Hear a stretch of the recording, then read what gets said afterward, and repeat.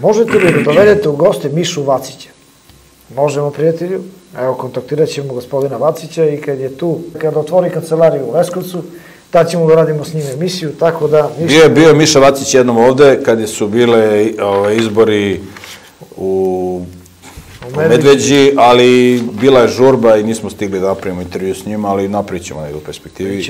I ne samo s njim, nego vidjet ćemo da napravimo intervju i sa njegovim saradnikom, bliskim Branislavom Puhalom, koji je deset godina bio šef obezbeđenja generala Ratka Mladića, tako da ćemo vidjeti, pošto on sta, idu stalno zajedno, vidjet ćemo da i Branislav Puhalo, ovaj, da s njim napravimo jedan razgovor, da on ispriča, on bi imao puno šta da kaže, jedan vrlo pametan i, i, i, i hrabar i mudar čovjek, tako da vidjet ćemo njega